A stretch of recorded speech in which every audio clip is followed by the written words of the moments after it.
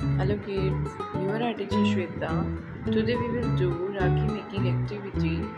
We need foamy sheet, pom pom, ribbon, googly eyes, marker, Fevicol and scissors. So let's start.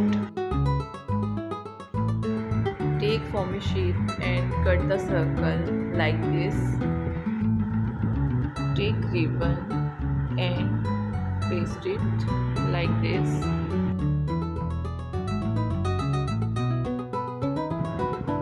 Make circle with sketch pen या marker like this.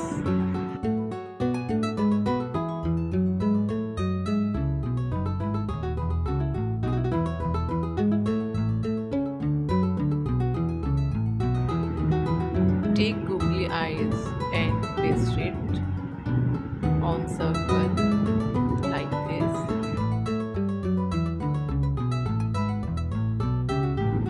Make smile with marker sketch pen.